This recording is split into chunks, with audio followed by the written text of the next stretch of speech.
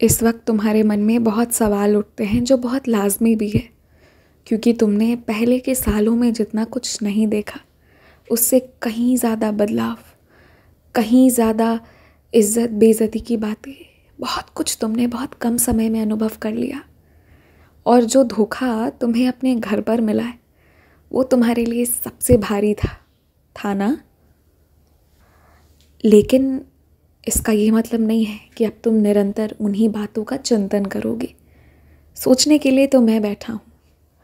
तुम निश्चिंत होकर रहो।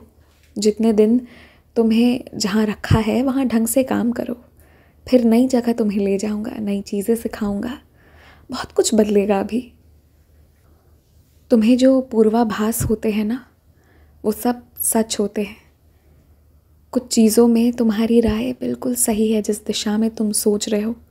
वो सब सही जा रहा है। पर कुछ जगह पर मेरे निर्णय कुछ और थे। लेकिन अब मैं उन्हें बदल रहा हूँ। इसलिए ज़्यादा सोचना मत। कुछ बदलाव होगा उसे बस देखना।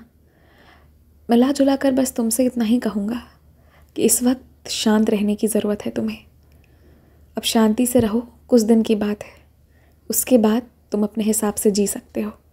सब बदलूँगा मैं। खुश रहो।